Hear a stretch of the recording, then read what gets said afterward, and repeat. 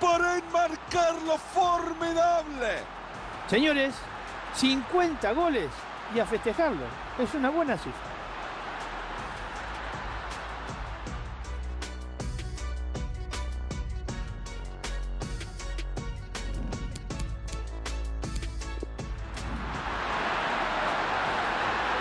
Benzema, buena pelota.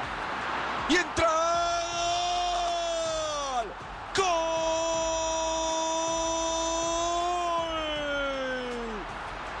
Se notaba un mejor juego por parte de este equipo. Ahora están mostrando una...